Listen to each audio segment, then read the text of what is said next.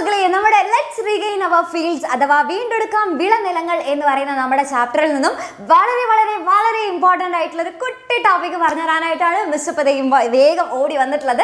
അപ്പോൾ നമുക്കറിയാം നമ്മുടെ കൃഷിക്കാർ അല്ലെങ്കിൽ നമ്മുടെ കർഷകർ അനുഭവിക്കുന്ന പല തരത്തിലുള്ള ദുരിതങ്ങൾ എന്തൊക്കെയാണ് എന്നുള്ളത് നമ്മൾ പോയിന്റ് ബൈ പോയിന്റ് ആയിട്ട് നമ്മൾ പഠിച്ചതാണ്. അപ്പോൾ അതിൽ അവരനുഭവിക്കുന്നതാണ് ഈ കാലാവസ്ഥയിലുള്ള മാറ്റങ്ങളൊക്കെ. കുറേ കഷ്ടപ്പെട്ടിട്ടൊക്കെ കൃഷിയൊക്കെ ചെയ്യും.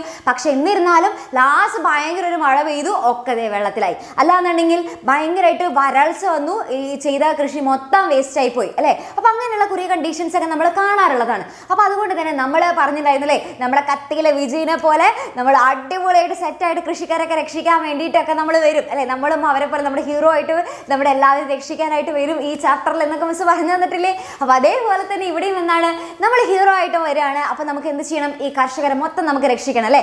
അവരുടെ ദുരിതങ്ങൾ മൊത്തം നമുക്ക് മാറ്റി കൊടുക്കണം അപ്പോൾ അതിന് വേണ്ടിയിട്ട് നമ്മൾ എന്ത് ചെയ്യാണ്? അതിന് വേണ്ടിയിട്ട് നമ്മൾ കുറച്ച് ഹൈടെക് ആയിട്ടുള്ള കൃഷി രീതികൾ അവർക്ക് വേണ്ടിയിട്ട് നമ്മൾ പരിചയപ്പെടുത്തി കൊടുക്കാൻ പോവാണ്. അപ്പോൾ എന്തൊക്കെയാണ് ഈ ഹൈടെക് ആയിട്ടുള്ള കൃഷി രീതികൾ എന്ന് പറയുന്നത്? എന്തൊക്കെയാണ്? ഫസ്റ്റത്തെ ഓരോന്നോരോന്നായിട്ട് നമുക്ക് അല്ലേ ഓരോന്നോരോന്നായിട്ട് നമുക്ക് നോക്കി നോക്കാം. അപ്പോൾ അതെ ഫസ്റ്റത്തെ ആൾ ആരാണ് മക്കളെ? ഇവിടെ നോക്കിക്കഴിഞ്ഞാൽ തന്നെ നമുക്ക് മനസ്സിലാകും. ഇവിടെ എന്നാണ് ഈ ഒരു പിക്ചറിൽ എന്തൊക്കെയാണ് നിങ്ങൾ കാണുന്നത്? ഇവിടെ ഈ കൃഷി സ്ഥലം ദേ മൊത്തത്തിൽ ദേ ഒരു ഒരു ട്രാൻസ്പാരന്റ് ആയിട്ടുള്ള അതായത് സുതാര്യമായിട്ടുള്ള ഒരു പോളിത്തീൻ ഷീറ്റ് ഉപയോഗിച്ചിട്ട് ഇങ്ങനെ ദേ കവർ ചെയ്ത് വെച്ചിരിക്കുകയാണ്. അല്ലേ? ഫുള്ള് ട്രാൻസ്പാരന്റ് ആണ്. ട്രാൻസ്പാരന്റ് ആയിട്ടുള്ള ഒരു പോളിത്തീൻ ഷീറ്റ് ഉപയോഗിച്ചിട്ട് കൃഷി സ്ഥലം ഒന്നില്ലെങ്കിൽ ഭാഗികമായിട്ടോ അല്ലെങ്കിൽ മൊത്തത്തിലോ കവർ ചെയ്ത് വെച്ചിരിക്കുന്നു. അതിനൊപ്പം തന്നെ അപ്പം ഇങ്ങനെ ചെയ്യുന്നതുകൊണ്ടുള്ള ഗുണം എന്താ? ഇങ്ങനെ ചെയ്തു കഴിഞ്ഞാൽ നമുക്ക് ആ കൃഷി സ്ഥലത്തെ ഇപ്പോൾ ഭയങ്കരമായിട്ട് മഴ വന്നു. വല്ല കുഴപ്പമുണ്ടോ? ഇല്ല. ഇനി ഭയങ്കരമായിട്ട് വരൾച്ച വല്ല സീനുണ്ടോ?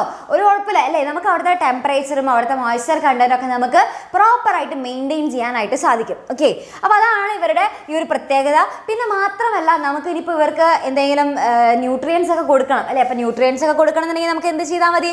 എല്ലാത്തിനും നമുക്ക് ഇതേപോലെ നമുക്ക് ന്യൂട്രിയൻസ് ഒക്കെ നമ്മുടെ വെള്ളത്തിൽ ലയിപ്പിച്ചിട്ട് നമുക്ക് എന്ത് ചെയ്യാം? സ്പ്രേ ചെയ്ത് കൊടുക്കാം. ഓക്കെ അപ്പോൾ ഇതിപ്പോൾ മിസ് ബാക്ക്ഗ്രൗണ്ടിൽ കൊടുത്തിട്ടുള്ളത് പൊളിത്തീൻ നമ്മുടെ നമ്മുടെ പൊളിത്തീൻ ഷീറ്റ് ഒന്ന് ഉപയോഗിച്ച് കവർ ചെയ്തിട്ടുള്ളതല്ല ജസ്റ്റ് ആ സ്പ്രേ ചെയ്യുന്ന സംഭവം മാത്രം അവിടെ കാണിച്ചു തന്നാ അപ്പോൾ ഈ ഒരു പരിപാടിയിൽ എന്താണ് അതേപോലെ സ്പ്രേ ചെയ്തിട്ട് എല്ലാത്തിനും ഇതേപോലെ സ്പ്രേ ചെയ്ത് സ്പ്രേ ചെയ്ത് എല്ലാവർക്കും ന്യൂട്രിയൻസ് ഒക്കെ എന്ത് ചെയ്യും?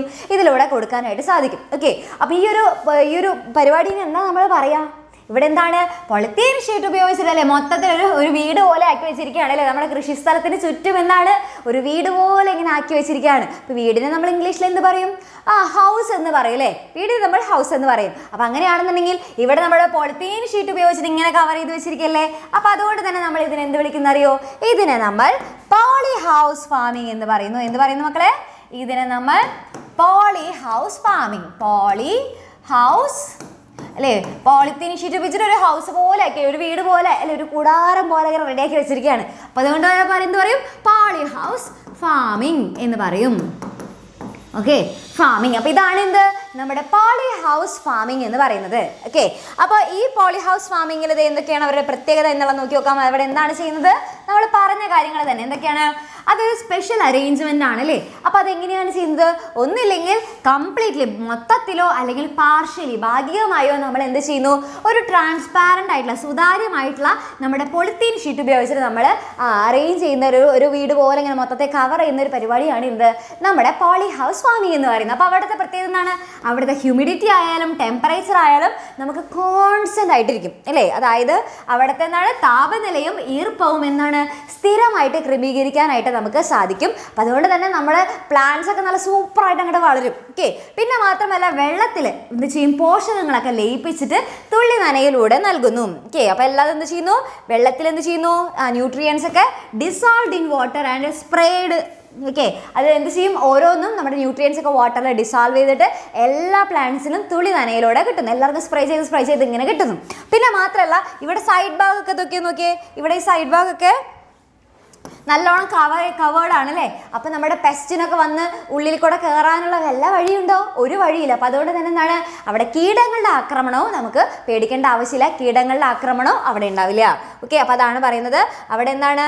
പെസ്റ്റ് അറ്റാക്കും ഭയങ്കര കുറവായിരിക്കും. ഓക്കെ കീടങ്ങളുടെ ആക്രമണവും ഭയങ്കരമായിട്ട് കുറവും. പക്ഷേ ഇവരുടെ പ്രശ്നം എന്ന് വെച്ചാൽ തുടക്കത്തിൽ ഭയങ്കര സ്റ്റാർട്ടിങ് ചിലവ് ഇച്ചിരി കൂടുതലാണ് കാരണം ഈ സംഭവങ്ങളൊക്കെ സെറ്റപ്പ് ആക്കണ്ടേ? അപ്പം അതുകൊണ്ട് തന്നെ സ്റ്റാർട്ടിങ്ങിൽ ഇച്ചിരി പൈസ നമ്മുടെ കയ്യിൽ നിന്ന് ഇറങ്ങും. പക്ഷെ എന്നിരുന്നാലും കണ്ടിന്യൂസ് ആയിട്ട് പിന്നീട് അവിടെ കൃഷി ചെയ്യുകയാണെങ്കിൽ ഭയങ്കര ലാഭം കിട്ടും. ഓക്കെ അതാണ് നമ്മുടെ പോളി ഹൗസ് ഫാമിങ്ങിന്റെ പ്രത്യേകത. ഇത്രയും കാര്യങ്ങൾ ക്ലിയർ ആയില്ലേ? ഓക്കെ അല്ലേ? അപ്പോൾ പോളി ഹൗസ് പറയുമ്പോൾ നമ്മുടെ പൊളിത്തീൻ ഷീറ്റ് വെച്ചിട്ട് ഒരു ഹൗസ് പോലെ ഇങ്ങനെ ഒരു കൂടാരം പോലെ ആക്കുന്നു. ഓക്കെ അതാണ് എന്ത്? നമ്മുടെ പോളി ഹൗസ് ഫാമിംഗ് ക്ലിയർ പക്ക സെറ്റ് അല്ലേ അപ്പൊ അങ്ങനെയാണെന്നുണ്ടെങ്കിൽ അടുത്ത ആളെ മിസ് ഇതേ പറഞ്ഞുതരാം. അടുത്ത ആൾ കുറച്ച് വമ്പ അല്ലേ? റൊമ്പ റൊമ്പ ഹൈടെക് ആയിട്ടുള്ള സംഭവമാണ്. എന്താണെന്നറിയോ? ദേ നമ്മുടെ കുറച്ച് ഹൈടെക് ആയിട്ടുള്ള നമ്മുടെ ഹൈടെക് ആയിട്ടുള്ള നമ്മുടെ ടെക്നോളജീസ് ഒക്കെ ഉപയോഗിച്ചിട്ട് എന്ത് ചെയ്യാണ്? നമ്മൾ ഹൈടെക് ആയിട്ടുള്ള ടെക്നോളജീസ് ഫുള്ള് സാറ്റങ്ങൾ ദേ ഇവിടെ നമ്മൾ നോക്കിക്കഴിഞ്ഞാൽ നമുക്ക് മനസ്സിലാകും എന്താണ്? ഡ്രോണൊക്കെയാണ് അല്ലേ? സംഭവം. നമ്മൾ ഡ്രോൺ കണ്ടിട്ടുള്ളത് എവിടെയാ? മറ്റേ വീഡിയോഗ്രാഫേഴ്സ് ഇങ്ങനെ അല്ലേ? നല്ല ക്യാമറ ഒക്കെ ഷൂട്ട് ചെയ്യാനായിട്ടൊക്കെ നമ്മൾ കണ്ടിട്ടുള്ളൂ പക്ഷെ ഇത് ഇവിടെ വേറെ സംഭവമാണ് ഇവിടെ എന്ത് ചെയ്യുന്നറിയോ? ഈ ഡ്രോണൊക്കെ യൂസ് ചെയ്തിട്ട് നമ്മുടെ ഫുള്ള് നമ്മുടെ അഗ്രികൾച്ചറൽ ഫീൽഡുകൾ മൊത്തം നമുക്ക് ചെക്ക് ചെയ്യും. അവിടെ ഏതെങ്കിലുമൊക്കെ ഭാഗത്തൊക്കെ എന്തെങ്കിലും പ്രശ്നമുണ്ടോ എന്നുള്ളതൊക്കെ ഫുള്ള് ചെക്ക് ചെയ്യും. ഓക്കെ പിന്നെ അതേപോലെ തന്നെ അവിടുത്തെ നമ്മുടെ ഫുള്ള് നമ്മുടെ മോഡേൺ ആയിട്ടുള്ള ആപ്ലിക്കേഷൻസും ടെക്നോളജീസും ഇതൊക്കെ ഉപയോഗിച്ചിട്ട് നമ്മുടെ മണ്ണിനെയൊക്കെ ടെസ്റ്റ് ചെയ്യുക ലാബിലൊക്കെ കൊണ്ട് ടെസ്റ്റ് ചെയ്യുക. അപ്പോൾ മണ്ണിന്റെ ആ ടെസ്റ്റൊക്കെ ചെയ്തിട്ട് അവിടെ ഏതൊക്കെ ന്യൂട്രിയൻസ് ആണ് അവിടെ അടങ്ങിയിട്ടുള്ളത് അവിടെ ഏതൊക്കെ തരത്തിലുള്ള കൃഷിയാണ് ചെയ്യാൻ സാധിക്കുക ഇതുള്ളതൊക്കെ ഫുള്ള് മനസ്സിലാക്കിക്കൊണ്ട് എന്നിട്ട് എല്ലാ കാര്യങ്ങളും നമ്മൾ ഡീറ്റെയിൽ ആയിട്ട് മനസ്സിലാക്കിയിട്ട് നമ്മൾ നമ്മളിങ്ങനെ പറയില്ലേ പ്രിസൈസ് ആയിട്ട് ചെയ്യാമെന്നൊക്കെ പറയില്ലേ? അപ്പം അങ്ങനെ അപ്പോൾ അപ്പം അങ്ങനെ പ്രിസൈസ് ആയിട്ട് ചെയ്യുന്നത് ചെയ്തിട്ട് നമ്മൾ എന്ത് ചെയ്യാണ്? അവിടെ കറക്റ്റായിട്ട് നമ്മൾ അവിടെ നമ്മൾ എപ്പോഴും പറയില്ലേ എല്ലാ കാര്യത്തും നല്ല കണിശമായിരിക്കണം എന്നൊക്കെ നമ്മൾ പറയില്ല? അതേപോലെ നല്ല പ്രിസൈസ് ആയിട്ട് ചെയ്തിട്ട് അവിടെ കൃഷി ഇറക്കുന്നു. ഓക്കെ അപ്പോൾ അതാണ് എന്ത്? അതാണ് ഇതേ അവിടുത്തെ നമ്മുടെ ഈ ഒരു രീതിയിലാണ് നമ്മൾ എന്ത് പറയുക പ്രിസിഷൻ ഫാമിംഗ് എന്ന് പറയും. അല്ലേ? എല്ലാ കാര്യങ്ങളും നല്ല പ്രിസൈസ് ആയിട്ട് മനസ്സിലാക്കിയിട്ട് ചെയ്യുന്നു. പ്രിസിഷൻ ഫാമിംഗ് ഫാമിംഗ് ഓക്കെ ഇതാണെന്ത്? പ്രിസിഷൻ ഫാമിംഗ് എന്ന് പറയുന്നത്. അപ്പോൾ ഇവിടെ എന്താ ചെയ്യുന്നത്? കണ്ടോ ഫുള്ള് നമ്മൾ എല്ലാം ടെക്നോളജി ഉപയോഗിച്ചിട്ടാണ് നോക്കുക. ഓക്കെ നമ്മൾ ഡ്രോണൊക്കെ പറത്തി വിടും ഫുള്ള് വൈഫൈയും സാധനങ്ങളൊക്കെ ഉപയോഗിച്ച് നമ്മൾ എന്ത് ചെയ്യുന്നു? ഭയങ്കരമായിട്ട് ഫുള്ള് സ്മാർട്ട് വർക്കാണ് അപ്പോൾ സ്മാർട്ട് കൺട്രോളും അതേപോലെ തന്നെ കറക്റ്റായിട്ട് നമ്മൾ മോണിറ്ററൊക്കെ ചെയ്യാനായിട്ട് നമ്മുടെ ഫുള്ള് അതിന്റെ ഇടയിൽ കൂടെ കയറി നടക്കേണ്ട ആവശ്യമൊന്നുമില്ല. നമ്മൾ എന്ത് ചെയ്താൽ മതി? നമ്മുടെ ഡ്രോണൊക്കെ പറത്തിയിട്ട് നമ്മുടെ ഈ ഐപാഡ് നമ്മുടെ ഐപാഡിലൊക്കെ എടുത്ത് നോക്കിയാൽ മതി. ഐപാഡ് എന്താണെന്നില്ല ഏതായാലും ടാബിലൊക്കെ എടുത്ത് നോക്കിയാൽ മതി. അപ്പോൾ ഇതിലൊക്കെ നമുക്ക് നോക്കിയിട്ട് നമ്മുടെ മണ്ണിന്റെ അതേപോലെ ലാബിൽ നമുക്ക് പോയിട്ട് മണ്ണൊക്കെ ടെസ്റ്റ് ചെയ്യാം. ടെസ്റ്റ് ചെയ്തിട്ട് അതിൽ ഏതാണ് ന്യൂട്രിയൻസ് കുറവുള്ളത് അവിടെ ഏത് കൃഷിയാണ് ഇറക്കാൻ സാധിക്കുക ഇതുള്ളതൊക്കെ നമുക്ക് നോക്കിയിട്ട് പക്കാ സെറ്റായിട്ട് നമുക്ക് ചെയ്യാനായിട്ട് സാധിക്കും. ഓക്കെ അപ്പോൾ അതാണ് എന്ത്? നമ്മുടെ പ്രിസിഷൻ ഫാമിംഗ് ഇനി മാത്രമല്ല ഇവിടെ നമുക്ക് എന്ത് ചെയ്യാനായിട്ട് സാധിക്കും? കണ്ടോ? ഇതേപോലെ മണ്ണിനെ നമുക്ക് എന്ത് ചെയ്യാനായിട്ട് പറ്റും? മണ്ണിനെ നമുക്ക് ഇതേപോലെ പോളിത്തീൻ ഷീറ്റ് ഉപയോഗിച്ചിട്ട് കവർ ചെയ്യാൻ പറ്റും. ഓക്കെ സോയിലിനെ നമുക്ക് എന്ത് ചെയ്യാനായിട്ട് പറ്റും?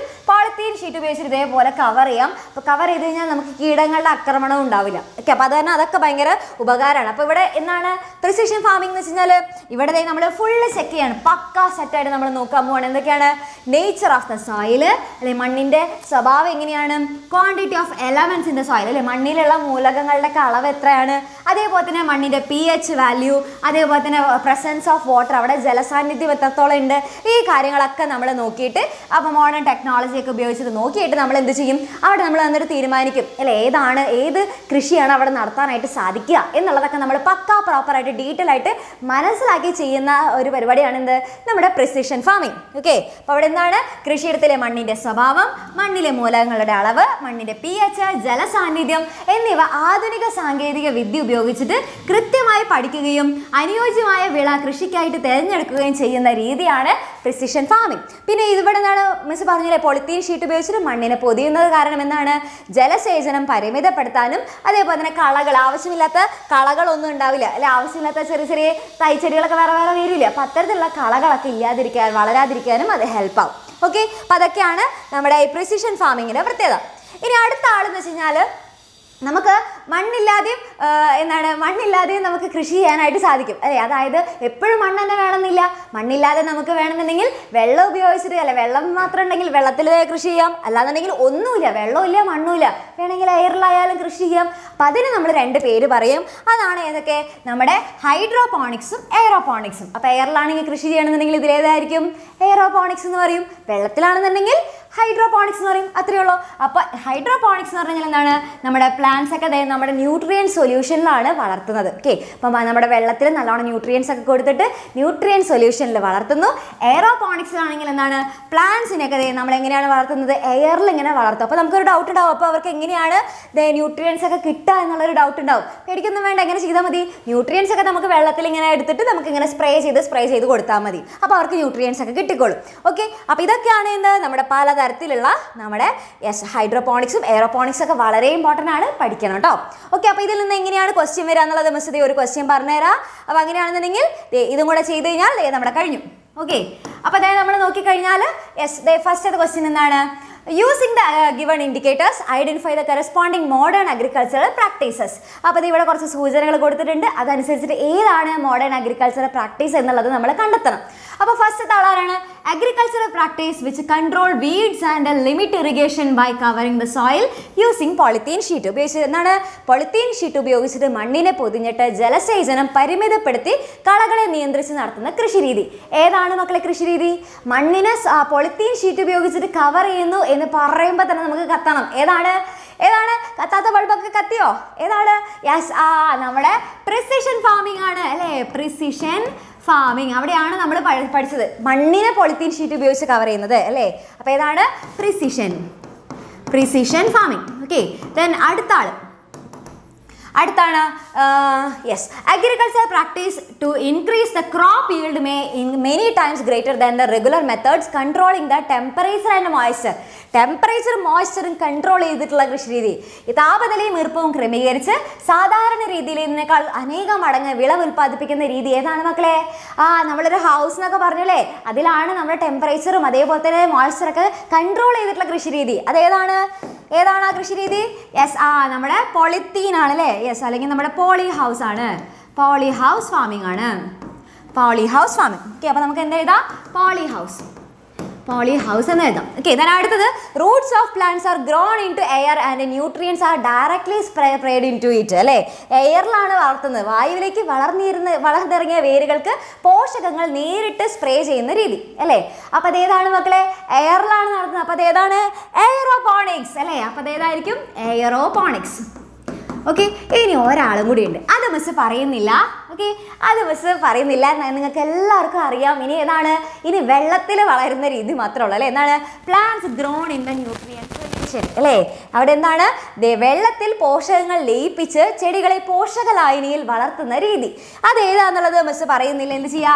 അതൊരു ഹോംവർക്ക് ക്വസ്റ്റ്യൻ ആണ്. അതെല്ലാവർക്കും മനസ്സിലായിട്ടുണ്ടാകും എന്നാണ് മിസ് ദേ വിശ്വസിക്കുന്നത്. അപ്പം അതെന്ത് ചെയ്യുക അതിന്റെ ആൻസർ എന്റെ കുട്ടികൾ കമന്റ് ബോക്സിൽ പോയിട്ട് കമന്റ് ചെയ്യുക ഓക്കെ ഇതേപോലെ നിങ്ങൾക്ക് ഇന്നിപ്പോൾ പറഞ്ഞ ഭാഗം മനസ്സിലായില്ലേ മക്കളെ? പക്കാ സെറ്റല്ലേ അപ്പോൾ ഈ ഭാഗത്ത് ഒത്തിരി ക്വസ്റ്റ്യൻസ് എന്തായാലും ചോദിക്കും. വളരെ ഇമ്പോർട്ടന്റ് ആണ്. നന്നായിട്ട് പഠിക്കുക. അപ്പോൾ ഇതേപോലെ നിങ്ങൾക്ക് കത്താത്ത ബൾബുകളൊക്കെ കത്തിക്കുന്നത് നമ്മുടെ ബൾബ് കത്തി സീരീസ് ഒക്കെ നിങ്ങൾക്ക് ഇഷ്ടപ്പെട്ടോ? ഇഷ്ടപ്പെട്ടിട്ടുണ്ടെങ്കിൽ അതും എന്ത് ചെയ്യുക മറക്കാതെ കമന്റ് ബോക്സിൽ കമന്റ് ചെയ്യുക ഇതേപോലെയുള്ള സീരീസ് നിങ്ങൾക്ക് ഇനിയും വേണമെന്നാണെങ്കിൽ അതും കൂടെ കമന്റ് ചെയ്യുക ഓക്കെ അപ്പോൾ ഇന്ന് പറഞ്ഞ കാര്യങ്ങൾ ഫുള്ള് സെറ്റല്ലേ ഓക്കെ അല്ലേ? അപ്പോൾ മാക്സിമം എന്റെ കുട്ടികൾ എന്ത് ചെയ്യുക മാക്സിമം നിങ്ങളുടെ ഫ്രണ്ട്സിനൊക്കെ ഷെയർ ചെയ്യുക അപ്പോൾ ഇത്തരത്തിലുള്ള ബൾബ് കത്തി സീരീസ് ഒക്കെ നിങ്ങൾക്ക് കറക്റ്റായിട്ട് കിട്ടണം. നിങ്ങൾക്ക് നോട്ടിഫിക്കേഷൻ ഒക്കെ കിട്ടണമെന്നുണ്ടെങ്കിൽ എന്ത് ചെയ്യുക ചാനൽ സബ്സ്ക്രൈബ് ചെയ്യുക ഒപ്പം തന്നെ നമ്മുടെ ബെൽ ബട്ടണും കൂടെ ക്ലിക്ക് ചെയ്യുക ഓക്കെ എന്നാലാണ് നമുക്ക് കറക്റ്റായിട്ട് കാണാനായിട്ട് സാധിക്കുള്ളൂ കേട്ടോ. ഓക്കെ അപ്പോൾ അങ്ങനെയാണെന്നുണ്ടെങ്കിൽ ഇതേപോലെ നിങ്ങൾക്ക് ഫുൾ ഡീറ്റെയിൽ ആയിട്ട് ക്ലാസ്സസ് പക്ക സെറ്റായിട്ട് നിങ്ങൾക്ക് നല്ല ഇഷ്ടത്തോടെ സിമ്പിളായിട്ട് തന്നെ മനസ്സിലാക്കി എടുക്കണം എന്നൊക്കെ ആണെന്നുണ്ടെങ്കിൽ നമ്മുടെ ബാച്ച് ഉണ്ട് എട്ടാം ക്ലാസ്സിലെ ബാച്ചാണ് നമ്മുടെ നമ്മുടെ ശക്തി ബാച്ച് എന്ന് പറയുന്നത്. അപ്പോൾ ശക്തി ബാച്ച് നിങ്ങൾക്ക് ജോയിൻ ചെയ്യാനായിട്ട് താഴെ കാണുന്ന നമ്പറിൽ നിങ്ങൾക്ക് വിളിച്ചു വെച്ച് കഴിഞ്ഞാൽ ജസ്റ്റ് ഒരു ഹായ് മെസ്സേജ് അയച്ചാൽ മതി. നിങ്ങൾക്ക് ജോയിൻ ചെയ്യാനായിട്ട് സാധിക്കും. ഓക്കെ അപ്പോൾ ഇത്രയേ ഉള്ളൂ. അപ്പോൾ ഈ ഒരു ബൾബത്തി സീരീസിൽ എല്ലാവരുടെ കത്താത്ത ബൾബും ഫുള്ള് കത്തിച്ചിട്ടുണ്ടാവും എന്നാണ് വിശ്വസി വിശ്വസിക്കുന്നത്. അപ്പോൾ എല്ലാവർക്കും tata bye bye. Love you all